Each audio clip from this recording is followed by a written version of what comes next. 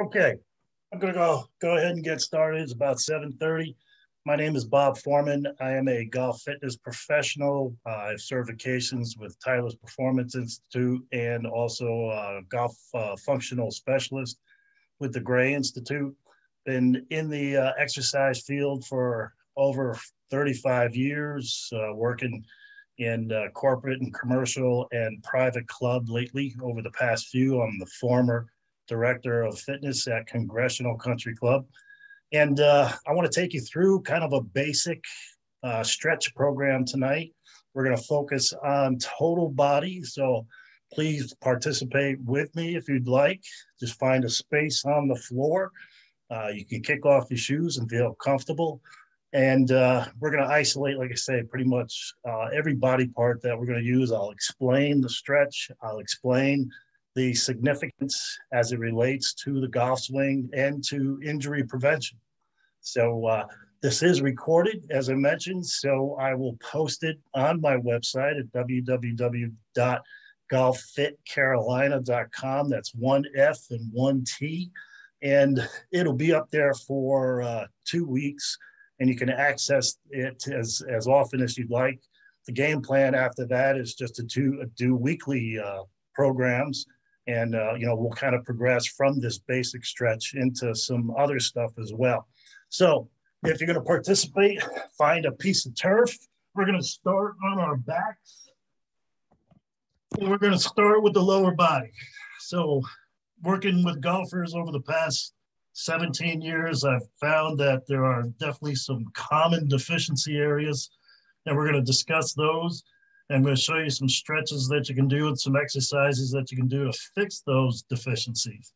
First one we're going to do is going to isolate the hip flexor, which is the muscle in the front part of the hip. I want you to place one leg down on the floor, bring the other knee up to the chest, grab behind the knee so that you don't hyperflex the knee, and just pull that knee right into your chest. Now this is going to stretch the upper hamstring of the leg that you're hugging it's going to also stretch this hip flexor, which is the muscle here in the front part of the hip. The hip flexor actually starts on the spine, it comes through the hip and then attaches to the thigh. If this muscle is tight as you're doing this exercise, you may feel your legs start to come up off the floor a little bit, which would indicate a tightness to that side hip flexor. Now, the significant of the hip flexors and then the hamstrings, which we're going to do next, is that because they attach to the hip bone, they can cause, they can prevent that freedom of movement that you would really like in that hip and reduce your hip mobility throughout the golf swing. So we're going to do this static stretch. Let's switch to the other side. Bring the other leg up. Again, grab behind the knee, especially if you've had knee replacement. Just pull that knee right into the chest as far as comfort allows. Always to a gentle stretch. Never go beyond that point. right? If one is good, two is not better when you're stretching. So always to a gentle stretch. And the second thing you want to always remember is breathe. Don't hold your breath. A lot of people will have a tendency to hold their breath, and that is called a Valsalva maneuver. And I'll explain what that is in just a second. All right, let's do that just one more time. Each leg, pull in. Now, a good static stretch should be held for approximately 30 seconds. And the reason being is that you have these stretch receptors in the muscle that prevent you from overstretching. And after about 20, 25 seconds, they become inhibited. So if you don't give it that full 30 second stretch, you may not get the full benefit from the static type stretch. Okay, let's switch to the other side again. And again, always go to your comfort zone. Don't try to keep up with the Joneses. Always to a gentle stretch. All right, so that's a, called a knee hug. All right, stretching those hip flexors. Let's focus on the hamstrings in the back of the leg. So again, we're gonna place one leg flat on the floor. We're gonna take a straight leg this time, and we're gonna grab behind the knee and we're gonna gently pull towards the head. Now your foot should be in a pointed position, not flexed, pointed. That's going to reduce the calf muscle. It's going to take the calf muscle out of the stretch. If you flex your foot, that'll engage the calf muscle. That may take away from the isolation of the hamstring. So point that foot, pull that knee gently towards you till you feel that gentle stretch back in through the back of the thigh, working those hamstrings. Okay, let's slowly lower that one down. Let's go to the other side. Now, your range of motion may be somewhat limited, especially you guys. You guys may have a very tight hamstring. I've seen a lot of guys, this is as far as they can get. Uh, the goal, ultimate goal, would be to get 90 degrees if you can. Now, the significance with tightness in the hamstring is that, again, it'll impact hip mobility, but the other significant factor with tight hamstrings is that it will impact your lower back. Okay, take a break. The reason being the hamstrings are attached to the hip bone from down below. So if the hamstrings are tight, what's going to happen over a number of years, it's going to take that hip bone, it's going to pull it downwards. So that hip will rotate backwards. Now your low back muscles are fanned out across the top of that hip bone, and then they all converge into this lower lumbar curve. So if the hip bone rotates, stretches those muscles out, it's going to leave you susceptible for muscle strain, soreness the next day after you play golf. But the more significant impact is that as that hip bone rotates, it's going to take that normal curve in that lower spine, that lumbar spine, and actually straighten it out a little bit. And you would think that that would be a good thing, but that's actually a misalignment in the spine. And anytime you have a misalignment in the spine, you're going to put more pressure on the discs. You're going to wear those discs out faster. You're going to get into that slip, ruptured disc, sciatica. All right. So the hamstrings play a significant role in low back stability. Tight hip flexors do the opposite. Tight hip flexors will pull the hip bone forward and rotate that hip bone anteriorly forward, causing the curve there to actually increase. Right. And again, that's a misalignment, puts more pressure on the discs, something you don't want if you're a golfer. So if you do experience low back discomfort, check your hamstrings, check your hip flexors. If one or both are tight, you got to work on working flexibility. You'd be surprised what a difference that can make. Okay, so I showed you a static stretch for the hamstrings, right? We were just stretching and holding for about 30 seconds. Now, if you're really tight in the hamstring, and a lot of people, again, will have trouble getting past 45 degrees, the static stretch may not provide the threshold that you want to improve flexibility range of motion. So I'm going to show you a dynamic stretch, which involves movement. So what you're going to do is, again, grab behind the knee, point the toe to the ceiling, and you're going to alternate bending the leg, straightening the leg, bending the leg, straightening the leg. You want to do that about 20, 25 times. Now, this is using a, a principle called reciprocal inhibition, which means when you contract one muscle group, you relax the opposing muscle groups. So as you straighten the leg, you're going to contract your quad muscles here in the front part of your thigh. And as they contract, you're going to relax the opposing muscle groups. Now, again, your range of motion may be somewhat limited, but over time, as you do this stretch, and again, that's one of the, the, the keys with this is the consistency of which you do it.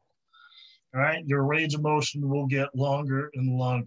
All right, about again 20 to 25 each side.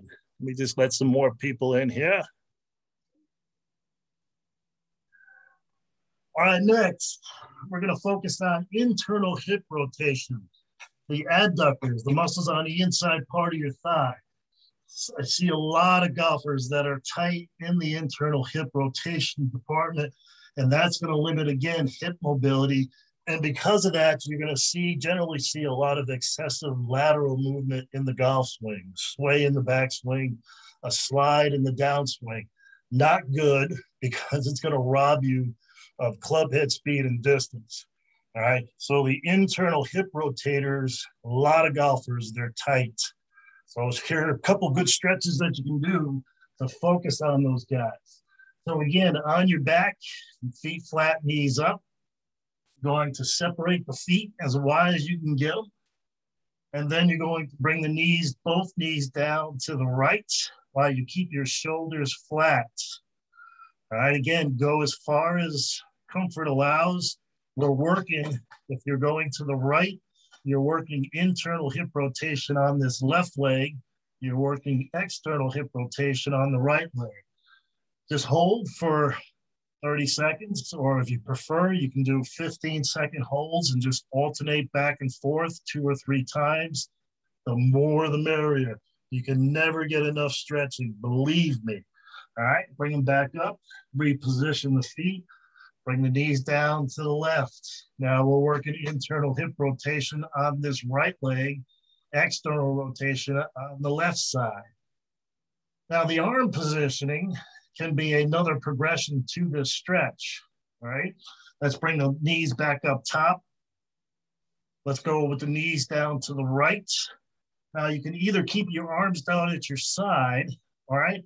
Or if you'd like to get a little more of a stretch in through the trunk and through the lats and shoulders, bring your arms overhead and just let them lie there.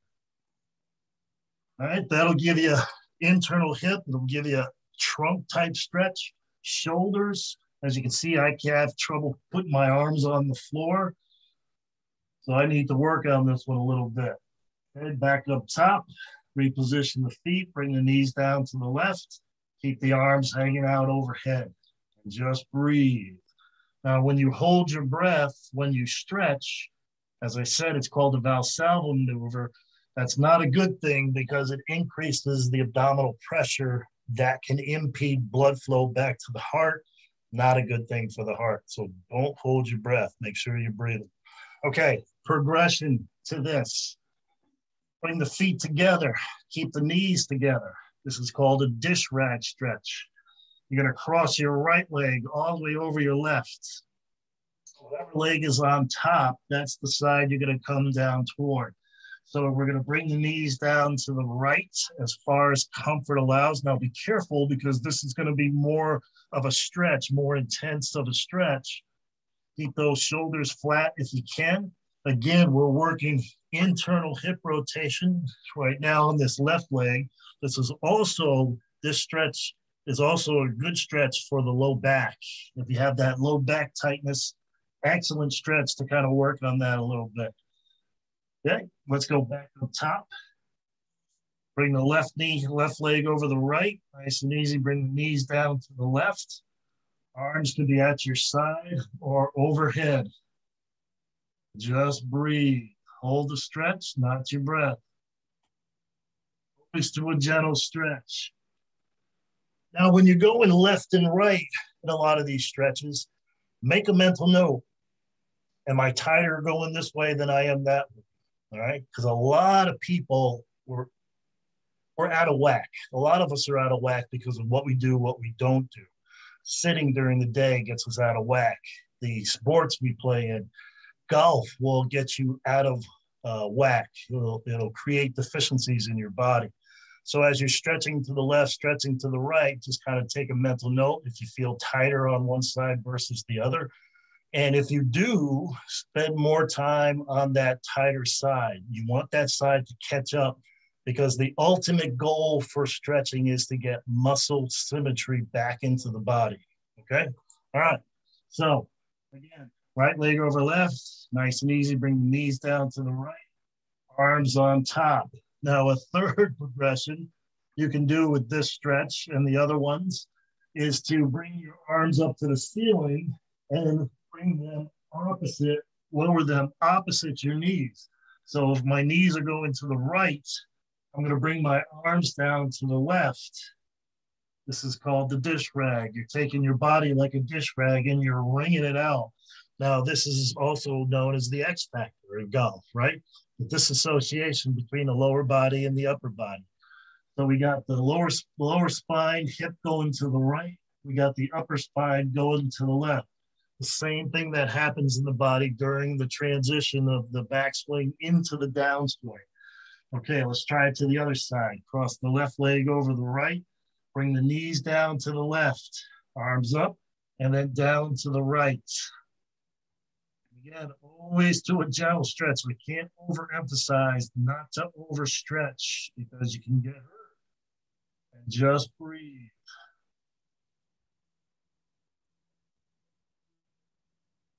Again, a good one for internal hip rotation, also for the lower back. I'm going to throw in a little strengthening exercise here. The glutes, the glutes, the glutes are your power muscles in the golf swing. All right, it's where you're going to get all your power from.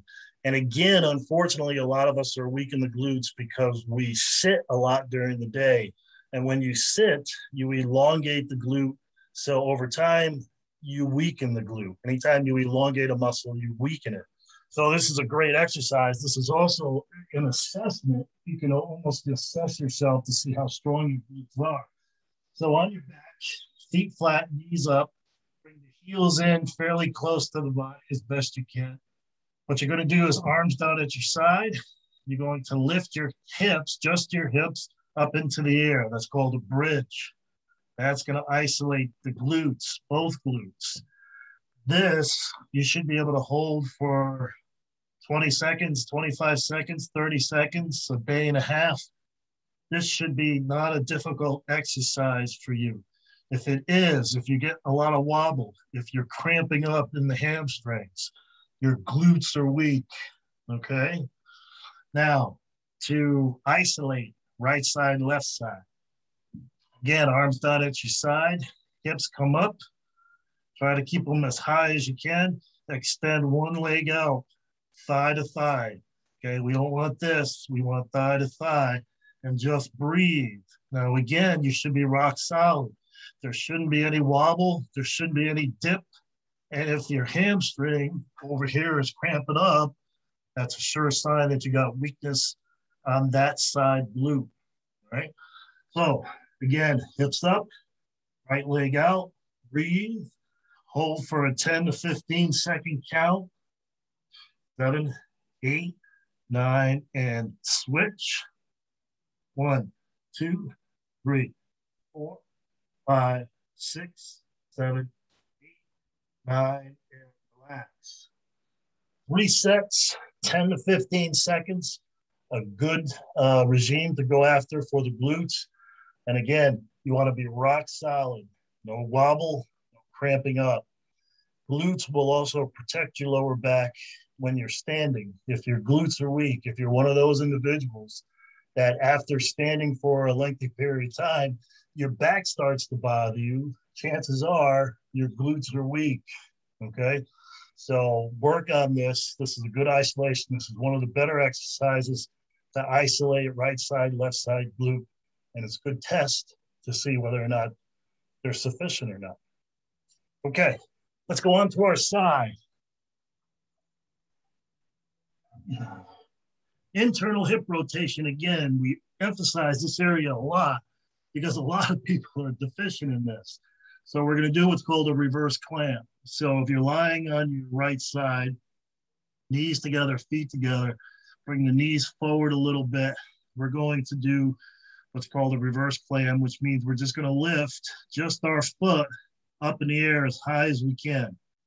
Okay, one, two, three, four, five, six, seven, eight, nine. We'll do 15 total. Four to go. Three, two, one more, and relax.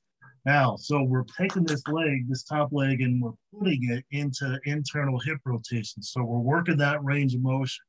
You may also feel this right here, right? That's the gluteus medius. Very important muscle to keep strong because it's a hip stabilizer. It holds the hip in place while the rest of these muscles are attached moving body parts.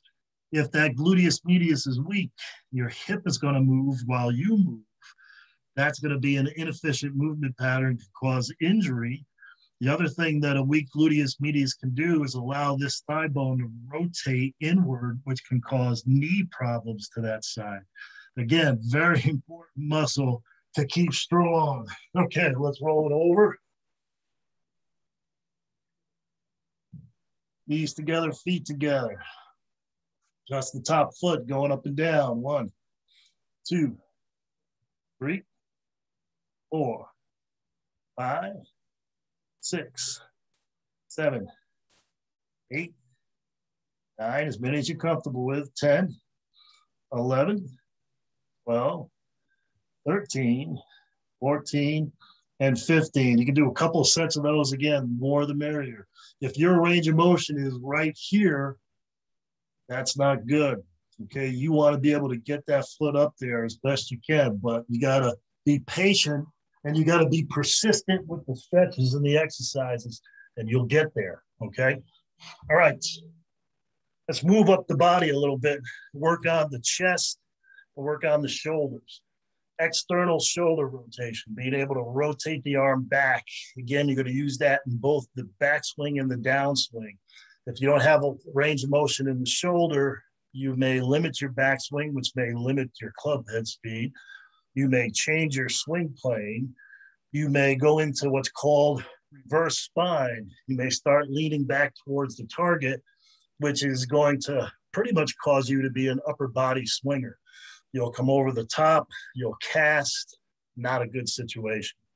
Right? We want to be in a good position so that we can initiate the downswing from the ground up, right? The legs, the hips, the trunk, the arms, and then the club. So this is a good little exercise to work shoulder rotation and also to open the chest. This is probably one of the better stretches for the upper body for golf. Now, what you're going to do is you're going to lie on your side again. This is called an open book. You're going to get into the fetal position. So everything's 90 degrees, arms 90 degrees. Okay. You're going to take this top arm while you keep your knees together. You're going to maintain the angle and you're just going to rotate over to the other side. So you're opening the book. Your head will rotate. You can stop looking at the ceiling and just continue with the arm until it won't go any further. And again, don't force it. Let gravity do the work for you.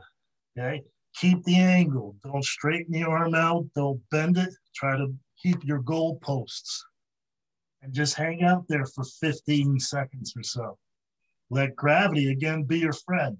If this knee is coming up, you can hold the knee down with this opposite hand good stretch. Again, you may feel this in the lower back, but primarily we want to focus on that shoulder mobility. Okay, we can close the book. And you want to do like three of them, right? And then we can switch to the other side. Now, you can also, to enhance the rotation in the shoulder, you can get light weights. And again, light weights. Don't go crazy with the weight. You know, one pound, two pounds at the most is enough to give you some uh, some intensity, some traction there to increase that shoulder mobility. Don't go heavier because you're going to put a lot of strain on the shoulder. So if you take a weight in each hand and do the same exercise, just open it up, okay, maintain your angle. Because now the weight is over here in my hand, that's going to help with that external shoulder rotation that I'm looking to get in my golf swing. Hold for about a 15 count or so. Breathe. And then bring it back. Okay. Do it without weights or with weights. Breathe. And relax. Okay, let's do a couple to the other side because you always got to work balance. You don't want to do just one side. You really want to maintain balance in the body. Okay, knees up, arms, top arm, keep the angle, come across, head stops at the ceiling. Now notice my hand's not touching the floor. I have to work on external shoulder rotation here. That's where a little weight will help. Now, again, guys, we tend to be a lot tighter than the ladies. A lot of ladies will have both arms flat on the floor, right? I mean, that would be a great goal, but the goal here is to number one, prevent your flexibility from getting worse because at uh, muscles tendency is to just tighten. Okay, close the book, relax. And then go ahead and open the book again for the second one. And the more active you are, the tighter the muscles become. So it's kind of a damned if you do, damned if you don't. You got to stretch, okay? Because that's going to help reduce uh, aches and pains. It's going to help reduce injury. Uh, it's going to help keep balance in the body, muscle symmetry, and it's the lack of symmetry. Okay, you can close the book. It's the lack of symmetry, those deficiencies, the tightness that causes the misalignment, which causes arthritis, and then you're getting your shoulder replaced and your or your knee replaced. So if you don't fix the deficiencies, you don't fix the problem.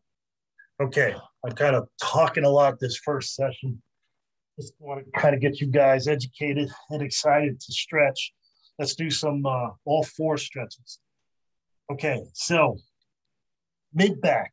All right, so you've got cervical spine, you got mid back, which is your thoracic spine, 12 vertebrae, and then your lumbar spine, five vertebrae, and then the five fused uh, vertebrae down here, your sacrum.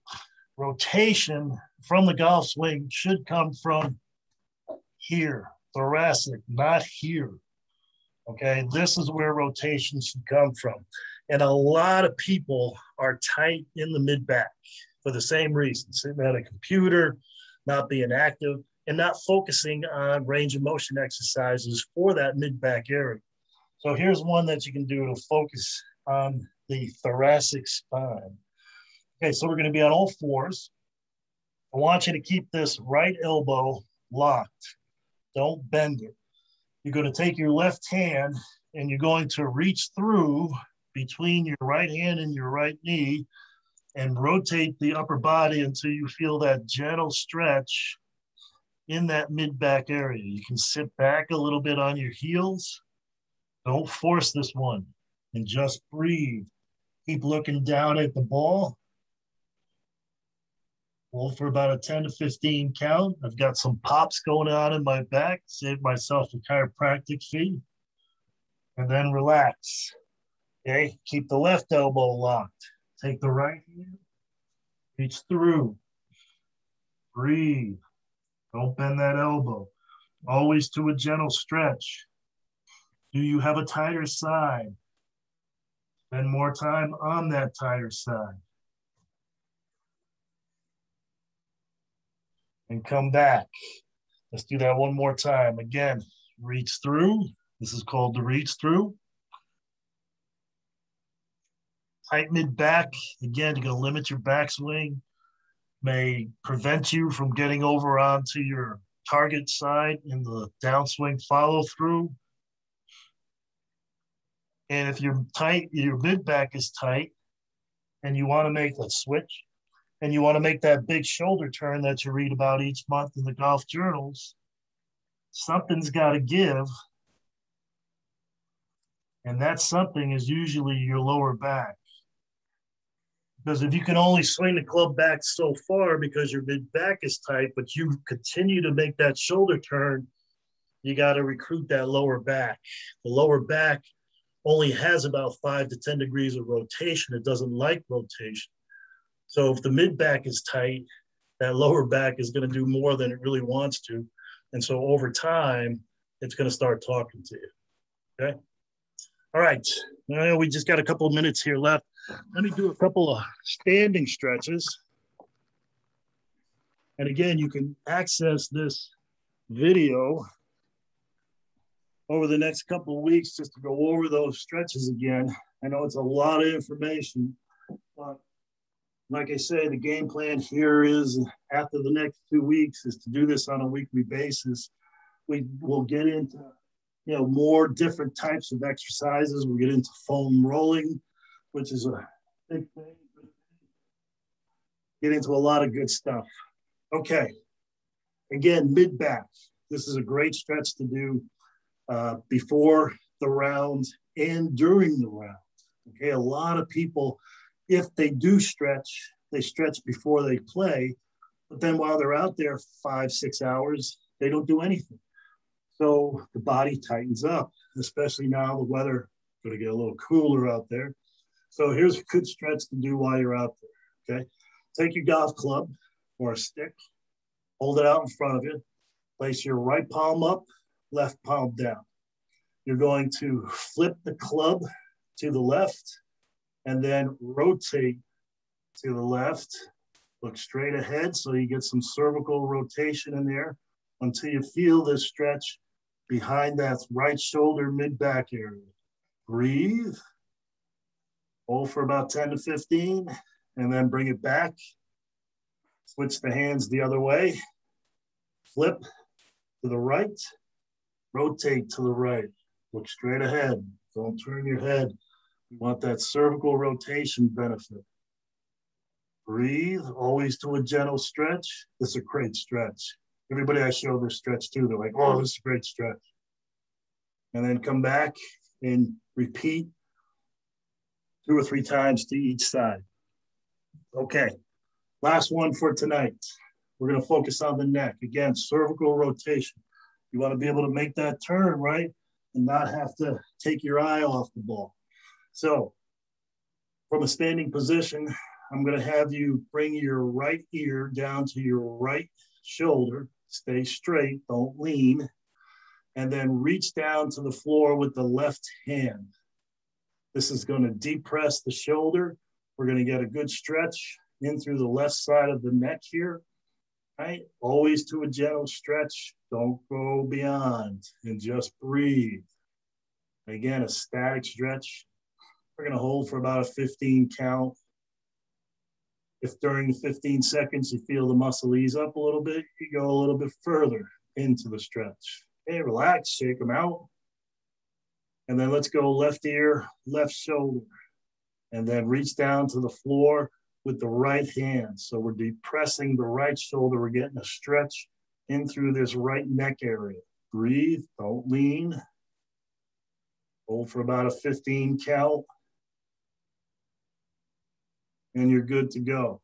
All right, one more real quick one because didn't really have a lot of time here tonight to talk about posture, especially shoulder posture, seeing a lot of rounded shoulder postures today because of the cell phone, computers, even in the teens. Teens are probably the worst offenders. It used to be just an older golfer's disease.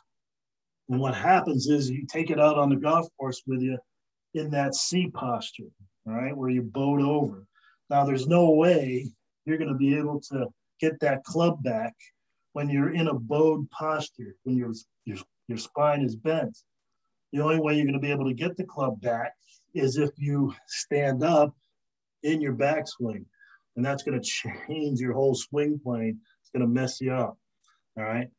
So, for a rounded shoulder posture, which again is kind of an epidemic these days, they said before COVID hit, it was going to be shoulders and necks because of our postures because this rounded shoulder posture sets you up for shoulder impingement, especially the supraspinatus, uh, supraspinatus, supraspinatus muscle that comes through the shoulder that gets trapped between two bones, and then you get uh, tears in the tendon. So it's basically a rotator cuff issue. You also cramp out the heart and the lungs. You crowd them out, so you reduce their efficiency. So not good from a health perspective or golf. So we need to stretch the tight chest muscles and we need to strengthen these weakened rhomboid muscles in your upper back that connect your shoulder blade to your spine, right? So that we can go from here to this to get those shoulders back. So here's a little quick little stretch. Love it. Love this stretch. You're going to stand, place your hands out in front of you, palms down, You're going to bring your elbows back and you're going to pinch your shoulder blades together. Okay, hold that pinch throughout. Externally rotate your shoulders. So there's external rotation in the shoulder. Keep the pinch. Now bring the elbows down into the back pocket. Keep the pinch.